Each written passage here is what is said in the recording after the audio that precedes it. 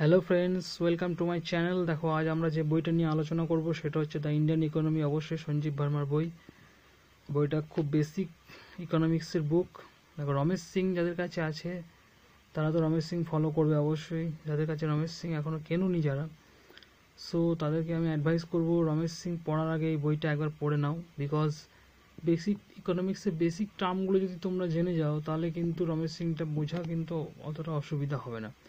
রমেশ সিং কিন্তু একটা বিরাট বড় বুকস এই বইটা মোটামুটি অনেক পেজ আছে সব বই সব পেজ তো আমাদের পড়তে হবে না। রমেশ সিংটাও কোথায় কি পড়বে আমি বলে দেবো তোমাদের।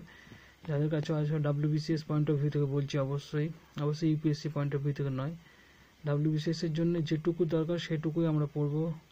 বেকার কিন্তু বেশি বেশি পড়ে সময় নষ্ট করার আমাদের কোনো দরকার নেই। কোনো কারণই হয় না। দেখো তো দ্য ইন্ডিয়ান ইকোনমি এই বইটা মোটামুটি স্ট্যান্ডার্ড বই। বইটা খুব ভালো, আমি পড়েছি বইটা। এই বইটা মোটামুটি যে ডেটাগুলো দেওয়া আছে বা ভাষা যেগুলো আছে, সেগুলো মোটামুটি ঠিকঠাক আছে, মোটামুটি ঠিকঠাক। রমেশ সিং তো অবশ্যই খুব ভালো বই।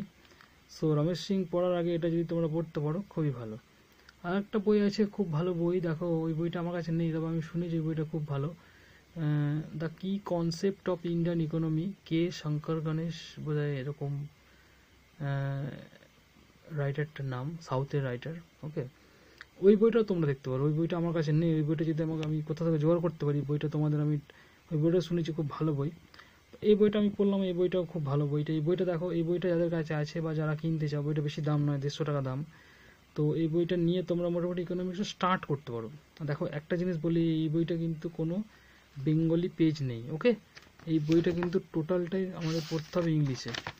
সো আমি তোমাদের একটা অ্যাডভাইস করব কি বেঙ্গলি বই তোমরা যতটা পারো অ্যাভয়েড করো। বিকজ দেখো মেইন পরীক্ষায় কিন্তু যে পরীক্ষাটা হবে, সেটা কিন্তু আমাদের ইংলিশে হবে। সো সো এখন থেকে যদি আমরা মোটামুটি ছ আট মাস আমাদের হাতে রয়েছে, এখন থেকে যদি আমরা ইংলিশে পড়ি, তাহলে কিন্তু আমরা মোটামুটি ইংলিশটাকে একটা স্ট্যান্ডার্ড জায়গায় নিয়ে যেতে পারব ওকে সো আমাদের দেখো যারা গ্রুপ এর জন্য ট্রাই নিচ্ছ আর্টস থেকে যারা আর্টস ব্যাকগ্রাউন্ড থেকে রয়েছে ইংলিশ ব্যাকগ্রাউন্ডের সায়েন্সের ব্যাকগ্রাউন্ড নয়, বা ইংলিশ অনার্সে যারা পড়নি তাদের জন্য একটু প্রবলেম হতে পারে ইংলিশটা ফার্স্ট স্টেজে কিন্তু আমি বলব কি ফার্স্টে আস্তে আস্তে পড়ো। দেখো, পড়লে পরে এই বইটা কিন্তু মোটামুটি ভাষাগুলো মোটামুটি সহজ ভাষায় দেওয়া আছে।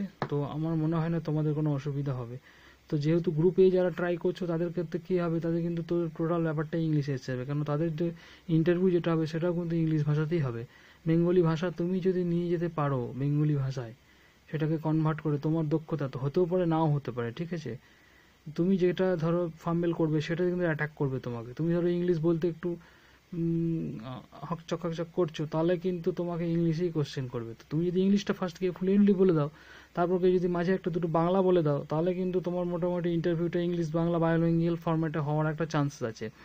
না হলে কিন্তু তোমাকে টোটালি ইংলিশে একদম চেপে ধরবে, যেখানে কিন্তু তোমার নার্ভটাকে একদম পুরো শিথিল করে দেওয়ার জন্য ওনারা কিন্তু প্রস্তুত থাকবে। তোমরা কিন্তু এটা জেনে নিতে পারো। ভয় দেখাচ্ছে না যদিও, তোমরা ভয় খেও না।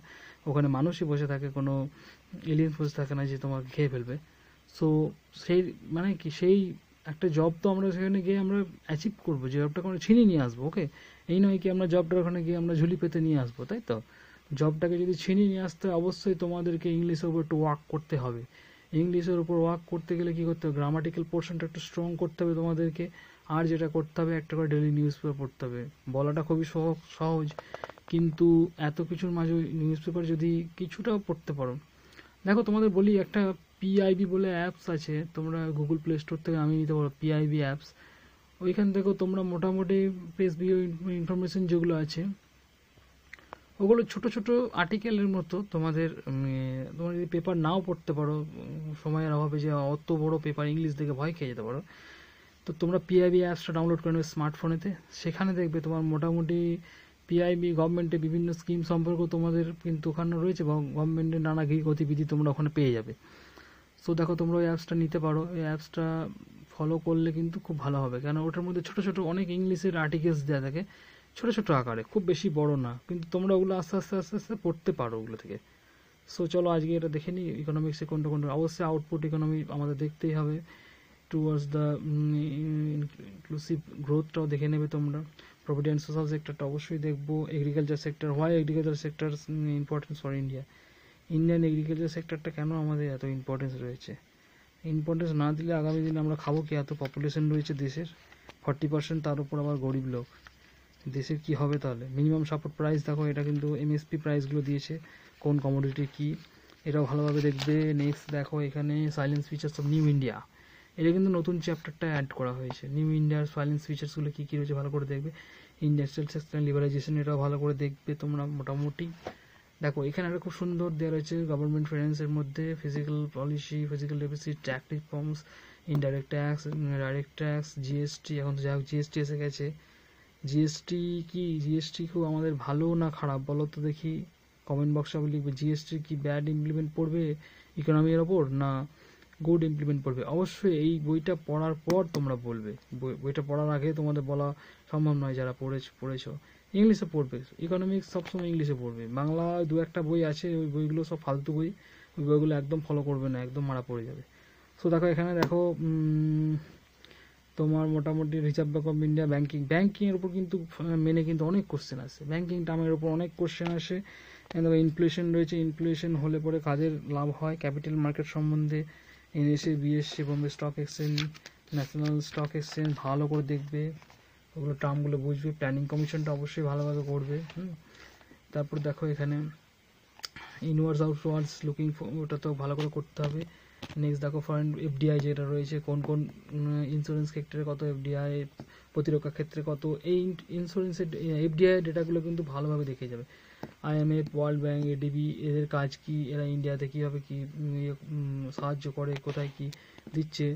তারপরে দেখো এশিয়ান ডেভেলপমেন্ট ব্যাঙ্ক হোক ওয়ার্ল্ড ব্যাঙ্ক হোক পশ্চিমবঙ্গে কী কী স্কিম চালাচ্ছে কী কী স্কিমের উপর টাকা দিচ্ছে এগুলো কিন্তু ভালো করে ডেটা কালেক্ট করবে ইকোনমিক্সে কিন্তু এগুলো আসার অনেক চান্স আছে। এক্সচেঞ্জ রেটগুলো দেখবে এক্সচেঞ্জ রেট অফ ইন্ডিয়া ভালো করে দেখবে রুপি কারেন্সি ডলার এগুলো ভালো করে দেখবে ফরেন এক্সচেঞ্জ রিজার্ভটা ভালো করে দেখবে ওকে নেক্সট দেখো, বইটা খুব মোটামুটি খুব অল্প চ্যাপ্টারের মধ্যে আছে। এগুলো কিন্তু তোমাদের গ্লোবাল ইন্ডেক্সের উপর আছে। গ্লোবালটা আমাদের এখন অতটা দরকার নেই। আমাদের ইন্ডিয়ারটা মেনলি ফোকাস করে চলতে হবে।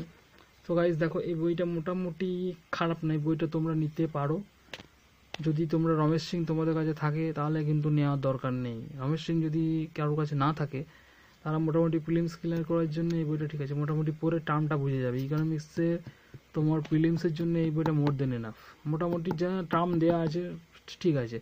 এখন যেগুলো কোশ্চেনগুলো আসছে ইকোনমিক্সে দেখবে কারেন্ট ডেটা বেসের উপর আসছে। ইকোনমিক্স সার্ভের উপর আসছে। ঠিক আছে? ইকোনমিক্স সার্ভে দেখো প্রতিযোগিতা দর্পণে স্পেশাল ইস্যু রয়েছে, নিশ্চয়ই সবাইকার কাছে আছে। ওই স্পেশাল ইস্যুটা যদি তোমরা যদি মোটামুটি একটু ফলো করো ইকোনমিক সার্ভেটা মোটামুটি ভালো করে যদি করে যাও, আশা করি তোমার মোটামুটি এখানে পঁচিশটা মার্কসের মধ্যে তোমরা কুড়ি বাই কুড়ি, উনিশ, কুড়ি, আঠারো থেকে কুড়ির মধ্যে পেয়ে যাবে। এটা কিন্তু গুড মার্কস ইকোনমিক্সের ক্ষেত্রে। অনেকের তো ইকোনমিক্স থাকে না। ইকোনমিক্সের ক্ষেত্রে কিন্তু এই এই মার্কসটা খারাপ আমি বলব না একদম না। ওকে সো এভাবে পড়াশোনা চালিয়ে যাও। কোনো প্রবলেম হলে অবশ্যই কমেন্ট বক্সে লিখবে যদি বুঝতে অসুবিধা হয় বা এই বইটা থেকে যদি কোনো পেজ ওয়াইজ বা ইন্ডিভিজুয়াল যদি কোনো জায়গায় বুঝতে না পারো যে এখানটা বুঝতে পারছি না কী লেখা আছে, কী কী বৃত্তান্ত, তাহলে অবশ্যই কমেন্ট বক্সে জানাবে। আমি পেজ ওয়াইজ তোমাদের বলে দেবো যে এখানে ধরো বুঝতে পারছ যে আইএমএফ কী কাজ ট্যাক্স রিফর্মটা বুঝতে পারছি না ইন্ডিয়ার জিএসটিটা বুঝতে পারছি না জিএসটি নিয়ে একটা ভিডিও সেপারেট বানালে ভালো হয়। সেভাবে কমেন্ট করবে। কারেন্ট টপিকের ওপর হোক বা যে কোনো টপিকের ওপর হোক কমেন্ট করে যাবে, ঠিক আছে? কমেন্ট করবে, আমি তোমাদের যথাসাধ্য সাহায্য করার চেষ্টা করব ওকে তো চ্যানেল অবশ্যই সাবস্ক্রাইব করবে লাইক করবে শেয়ার করবে, এবং অবশ্যই প্রিপারেশনটা হার্ডভাবে নেবে, কোনো রকমভাবে কোনো ইয়ে করবে না। আর একটা জিনিস বলতে অলওয়েজ মোটিভেট থাকবে, কিন্তু মোটিভেশনাল আর একটা জিনিস বলে রাখি তোমাদেরকে, দেখো, আমি সপ্তাহে যদি একটা দুটো পারি তো মোটিভেশনাল ভিডিও বানা বানানোর চেষ্টা করছি তোমাদের জন্য বিকজ এটা কি লেন্দি প্রসিডিওর তো? এটা ডিমোটিভেট হওয়ার চান্স প্রচুর আছে, ঠিক আছে? আমার একটা ভিডিও আছে দেখবে যে আমরা ডাব্লিউবিসিএস অফিসার কেন হতে চাই। ওই ভিডিওটা তোমরা মোটামুটি ভালোই পছন্দ করছ, আমি দেখছি। ওইটা, ওই ভিডিওটা দেখবে, ওই ভিডিও থেকে একটা জিস্ট বার করার চেষ্টা করবে। নিজে ডায়েরিতে লিখে রেখে দেবে। ডেলি প্রিপারেশন আগে ওটা আবার দেখবে। প্রিপারেশন পড়তে বসার আগে একবার করে দেখবে, ঠিক আছে? আর ওয়ান এইটি ডের প্ল্যান একটা আমি বানাচ্ছি, কীভাবে কী পড়বে অপশনালটা কীভাবে রাখবে অপশনাল যদি না থাকে মেন আর প্রিলিমস কীভাবে দুটোকে কম্বাইন করে চলবে, সেটার ওপর আমি একটা ভিডিও রিসেন্ট নেক্সট উইকে আশা করি দিতে পারব, এই উইকে হয়তো দিতে পারব একটু কাজের প্রেশার রয়েছে আমার নিজস্ব। সো গাইস এভাবে তোমরা চালিয়ে যাও, আমরা আমাদের চ্যানেল ভিশন ডাব্লিউবিসিএস তোমাদের সাথে অলওয়েজ আছে okay thank you so much